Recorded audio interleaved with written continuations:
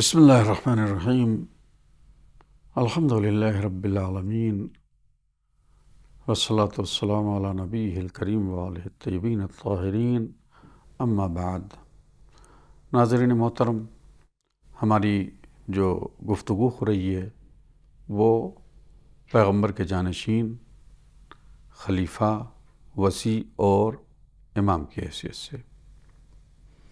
کل کی گفتگو میں میں نے آپ کے سامنے عرض کیا کہ امام اور خلیفہ کی اصل بنیادی حیثیت کیا ہے۔ اور اس کو جاننے سے پہلے میں نے آپ کے سامنے یہ بات پیش کی کہ چونکہ امام اور خلیفہ رسول کا جانشین ہے، ان کا وسیع ہے، ان کا نائب ہے رضام رسول کی حیثیت کو سمجھنا چاہیے۔ اور عرض کیا آپ کی خدمت میں کہ رسول کی حیثیت اللہ کی نمائندگی کی حیثیت ہے۔ نہ کہ حاکم یا کسی حکومت کے سربراہ کی حیثیت ہے۔ اور یہ بات کل کے بحث میں طے ہو گئی کہ جب رسول کی حیثیت اللہ کے نمائندہ ہونے کی ہے، تو پھر رسول کا جو جانشین ہوگا، وہ بھی اللہ کا نمائندہ ہوگا۔ اور جب اللہ کا نمائندہ ہے، تو یہ نمائندگی امت نہیں طے کرے گی، عوام نہیں طے کرے گی۔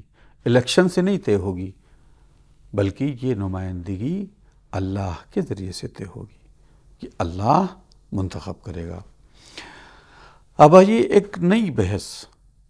ہم آج کی بحث میں دیکھیں کہ اسلامی قیادت کا سسٹم کیا ہے۔ اسلامی نظام کس طرح سے چلتا ہے، اس کو ہم دیکھیں۔ اب تاریخ اٹھا کے دیکھیے۔ تو ایک دور تھا کہ جب لوگ بادشاہت کے علاوہ کسی اور نظام و حکومت کو جانتے ہی نہیں تھے، صرف شاہ، بادشاہ۔ یہی سب دیکھا انہوں نے۔ تو اس زمانے کے علماء بادشاہوں کی عظمت ظاہر کرنے کے لیے کہا کرتے تھے، السلطان و ذل اللہ، بادشاہ خدا کا سایہ ہے۔ یہ زمانہ آگے بڑھا جو جمہوریت سامنے آئی۔ جب جمہوریت سامنے آئی، تو ہمارے بہت سے اہل سنت علماء بڑے شدمت سے کہنے لگے کہ اسلامی نظام حکومت کا ڈیموکریسی ہے، جمہوریت ہے۔ اور جب اس کی ناکامی دیکھیے کہ یہ بھی جمہوریت بھی ختم ہو گئی، بلکہ اب اس کے بعد اور دوسرے نظام ہے سوشلزم، اشتراکیت، تو بعض لوگ یہ ثابت کرنے کے کرنے لگے کہ اسلام سوشلزم کی تعلیم دیتا ہے۔ اسلامی سوشلزم کا نعرہ ایجاد کیا۔ اور آگے بڑھے، یہ بھی ختم ہو گیا، کمیونزم آ گئی۔ تو بعض لوگ جو ہے وہ کمیونزم کو جو ہے وہ اسلام سے جوڑنے لگے۔ دیکھیے، یہ جو اسلامی نظام کو لوگ ہوا کے رخ پہ جو ہے وہ جو جس دور میں جو ہے وہ غالب آ گئی جو سسٹم جس دور میں غالب آ گیا، اسلام کو اس کی طرف نسبت دینے لگے یا اس سسٹم کو اسلامی سسٹم کہنے لگے، یہ چیزیں جو ہے وہ، یہ طریقہ جو ہے وہ اسلامی قیادت کا اصلا نہیں، بلکہ اسلامی قیادت کا مذاق اڑانا ہے۔ حضن محترم، یہاں پر جو ہے وہ علامہ مرحوم سید اختر رضوی صاحب ایک واقعہ بیان کرتے ہیں، افریقی ملک کا۔ کہ وہاں پر ایک مسلمانوں کو بہت بڑا اجتماع تھا۔ چانچہ اس اجتماع میں اس ملک کے صدر جمہوریہ کو بھی مہمانی خصوصی کی حیثیت سے بلایا گیا، جو کہ ایک جو ہے وہ کٹر رومن کیتھولک تھا۔ اب اس مجمع میں مسلمان لیڈر کہیے یا عالم کہیے، اپنی تقریر میں بڑے جوش کے ساتھ یہ کہنے لگے کہ اسلام تعلیم دیتا ہے عطی اللہ اللہ کی اطاعت کرو عطی الرسول، رسول کی اطاعت کرو وہ اولی الامر منکم۔ اولی الامر منکم کی جو انہوں نے یہاں معنی کیے ہیں، وہ یہ کہ تم اپنے حاکموں کی اطاعت کرو۔ الی الامر سے مراد انہوں نے لیا، حاکموں کی اطاعت کرو۔ منور یہ تقریر کر دی۔ اس کے بعد جب اس رئیس جمہور کے تقریر کرنے کا وقت آیا تو اس نے اس جملے پہ اعتراض کیا اور اس نے صاف صاف کہہ دیا کہ یہ کیسے ہو سکتا ہے کہ ہر حاکم چاہے وہ ظالم ہو، چاہے وہ جابر ہو، اس کی اطاعت کا حکم دے گا قرآن مجید؟ یہ ممکن نہیں ہے۔ حاکم ظالم بھی ہو سکتا ہے حاکم عادل بھی ہو سکتا ہے، حاکم جسے کہ یہ گنہگار بھی ہو سکتا ہے، حاکم میں بہت سے جو ہے وہ عیوب ہو سکتے ہیں۔ تو قرآن مجید یہ کیسے حکم دے رہا ہے کہ ہر حاکم کی تم اپنے دور کے حاکم کی حکومت کو قبول کرو، اس کی اطاعت کرو؟ ہو سکتا ہے وہ غلط راستے پہ جا رہا ہو، تب بھی اس کی اطاعت کی جائے گی۔ دیکھیے، یہی وہ غلط معنی اور مفاہیم ہیں کہ ہمارے بعض علماء نے قرآن مجید کے آیتوں کے اس طرح سے کیے کہ بعض وہ لوگ جو اسلام کو نہیں بھی مانتے ہیں، لیکن ان کو اس موقع ملا اسلام پر اعتراض کرنے کا۔ تو در حقیقت اسلامی قیادت کا جو بنیادی جسے کہ یہ جو ہے وہ سسٹم ہے، وہ نہ جمہوریت ہے، نہ بادشاہت ہے، نہ سوشلزم ہے، نہ کمیونزم ہے۔ سب سے پہلے آئیے ہم جمہوریت کو لے لیں۔ جمہوریت کسے کہتے ہیں؟ یہاں پر علامہ نے جمہوریت کی بڑی اچھی وضاحت کی ہے۔ جمہوریت کے جو معنی ہیں، سب سے اچھے معنی ابراہم لنکن نے کیا ہے۔ جمہوریت کا مطلب کہ عوام کی حکومت جو عوام کے ذریعے اور عوام کے لیے ہو۔ یعنی عوام حکومت کریں، عوام پر۔ لیکن کس کے لیے؟ عوام ہی کے لیے۔ ہو اور یہ حکومت بنے بھی کیسے؟ عوام ہی کے ذریعے سے بنے یعنی الیکشن کے ذریعے سے۔ یہ جمہوریت کی تعریف کی ہے۔ ظاہر سے بات ہے، اسلام میں جو حکومت ہے، وہ عوام کی حکومت نہیں ہوتی ہے۔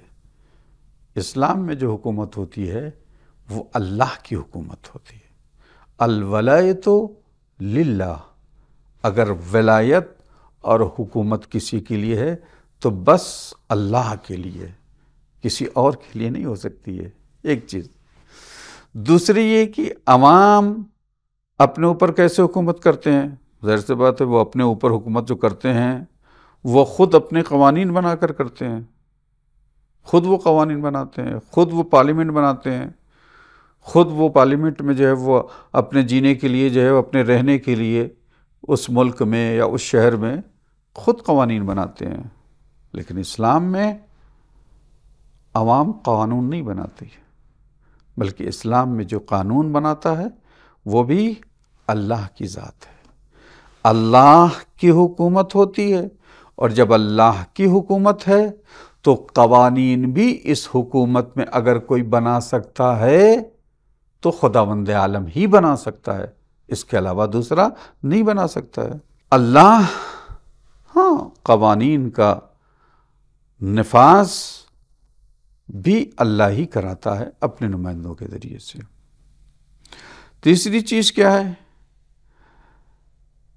کہ آیا عوام کو قانون سازی میں بالکل اسلام، اسلامی قیادت میں عوام کو قوانین سازی میں کوئی دخل نہیں ہے۔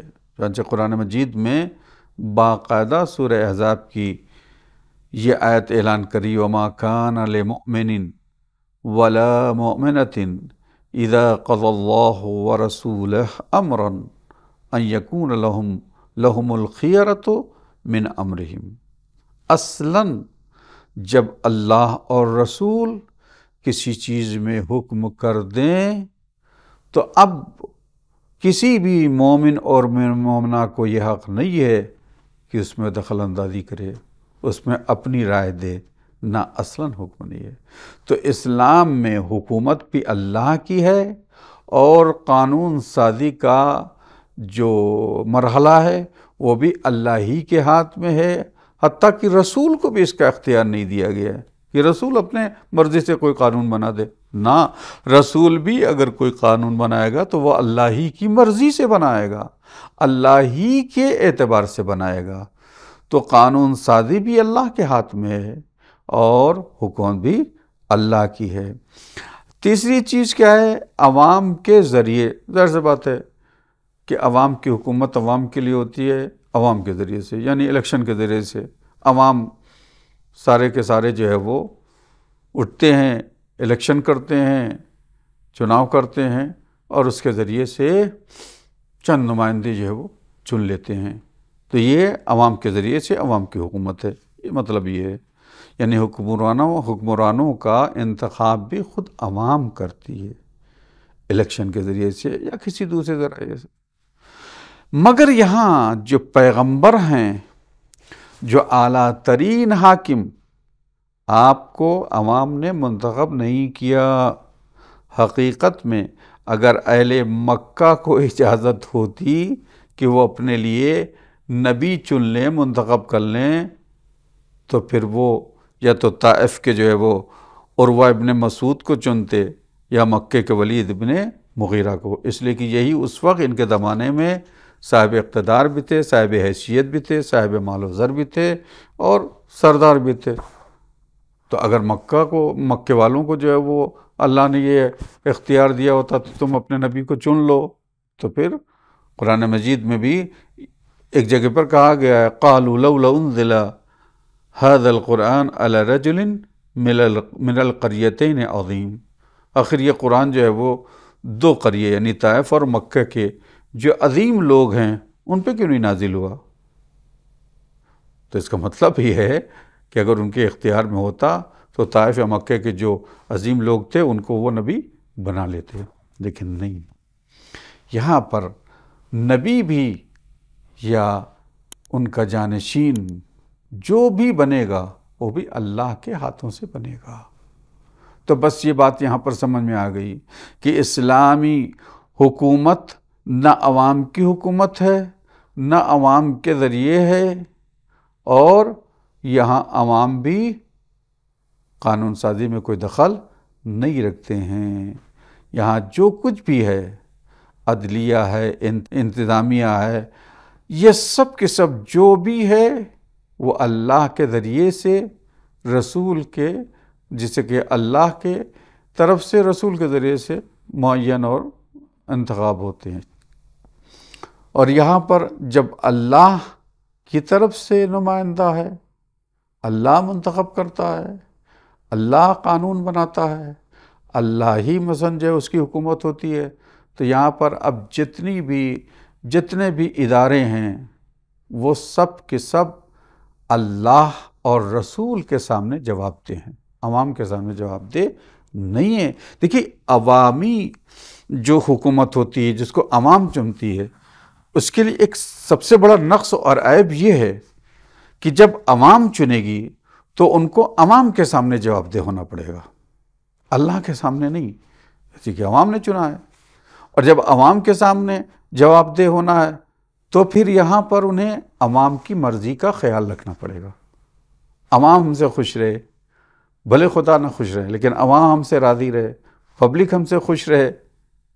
لیکن جب اللہ کی حکومت ہوگی، اللہ نمائندہ چنتا ہے، تو یہاں پر جو نمائندہ ہوتا ہے اور جو اس کے، جسے کہی جو ہے وہ قانون کو نافذ کرنے والے افراد ہوتے ہیں، وہ عوام کے سامنے جواب دہ نہیں ہوتے ہیں۔ عوام کی خوشی، عوام کی مرضی، عوام کی ناراضگی ان کے مد نظر نہیں ہوتی ہے، بلکہ ان کے مد نظر اللہ اور اس کے رسول کی خوشنودی اور ناراضگی جو ہے وہ مد نظر ہوتی ہے کہ ہم جو یہ کام کر رہے ہیں، اللہ اس سے راضی یا نہیں راضی ہے؟ رسول اس کا راضی یا نہیں راضی ہے؟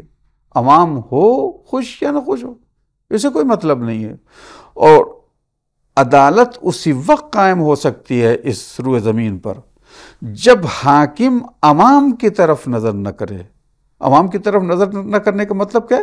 یعنی عوام کے لیے سہولیات فراہم کرے۔ عوام کے لیے سارے اس زمین پہ جو ہے وہ جتنی بھی سہولیات ہیں، جو بھی چیزیں ہیں، وہ عوام کے لیے فراہم کرے۔ لیکن جواب دہ اس کو ہونا ہے، وہ اللہ کے سامنے ہونا ہے۔ عوام کے سامنے نہیں ہونا ہے۔ اور جب عوام کے سامنے نہ جواب دہ نہیں ہونا ہے تو پھر وہ عدالت کو صحیح معنوں میں اجرا کر سکتا ہے۔ عدالت کو صحیح معنوں میں نافذ کر سکتا ہے۔ اس لیے اس کے سامنے صرف اگر کوئی ذات ہوگی، وہ خدا کی ذات ہوگی۔ عوام الناس نہیں ہوگی لیکن اگر عوام بنائیں گے، عوام منتخب کریں گے، عوام قوانین بنائیں گے، قوانین کے نافذ کرنے والے بھی عوامی انتخاب شدہ ہوں گے تو پھر یہاں ظاہر سے بات ہے، جو بھی منتخب ہے، جو بھی نمائندہ ہے، وہ پہلے مرحلے میں عوام کی خوشی اور ناخوشی کو دیکھے گا، مرضی اور عدم ناراضگی کو دیکھے گا۔ اور یہاں پر پھر وہ عدالت کو قائم نہیں کر سکتا ہے۔ تو بس آج کی گفتگو کا خلاصہ یہی ہے کہ اسلامی نظام حکومت جو ہے، اس میں عوام کا کہیں سے بھی دخل نہیں ہے، نہ نمائندہ چننے کا نہ حکومت کرنے کا، نہ قانون بنانے کا اور نہ کسی اور چیز میں۔ عوام کا کوئی اختیار نہیں ہے اسلامی نظام حکومت میں۔ اس کی بنیادوں میں صرف ذات خدا پر کی ہے۔ پروردگار عالم کی ذات ہے، پروردگار عالم کی حکومت ہے۔ وہی نمائندہ چنے گا، وہی قانون بنائے گا اور جو اس حکومت کے اندر جو سسٹم ہے اور اس سسٹم کو جو لوگ چلا رہے ہیں وہ اللہ کی بارگاہ میں جواب دہ ہوں گے، عوام کی بارگاہ میں جواب دہ نہیں ہوں گی۔ یہ ہے الہی حکومت۔ یہ اسلامی قیادت کی خصوصیت اور خاصیت ہے۔ یہ اسلامی نظام ہے۔ اسلامی نظام نہ جمہوریت ہے، نہ سوشلزم ہے، نہ اشتراکیت ہے، نہ کمیونزم ہے، نہ بادشاہت ہے۔ اسلامی نظام اللہ کی حکومت کو کہتے ہیں۔ والسلام علیکم ورحمة الله وبركاته.